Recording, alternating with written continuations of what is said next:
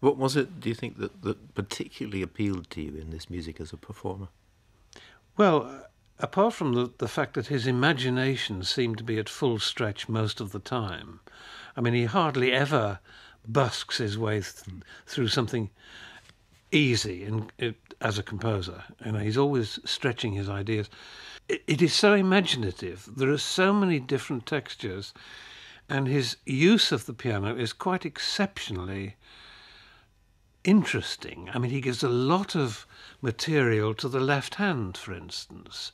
Crucial stuff. Most composers in that period didn't do that. They, the left hand accompanied the right.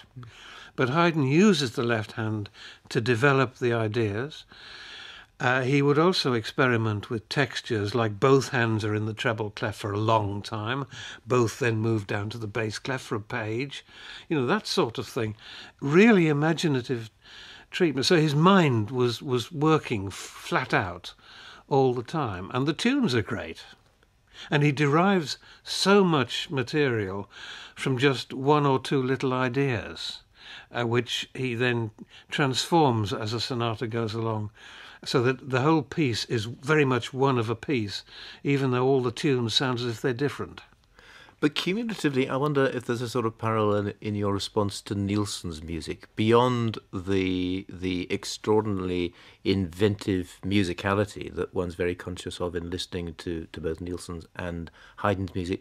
There is something comes through of the humanity of mm. these composers, I think, and that seems to me something that you respond to in music generally. I think it is. Yes, definitely. Yes, I mean, I, I don't know what else to say to that because I think that's perfectly true. But uh, I've always got this feeling. For instance, writing ballets, I've got to feel that I know the characters as people, and relate them to people I know.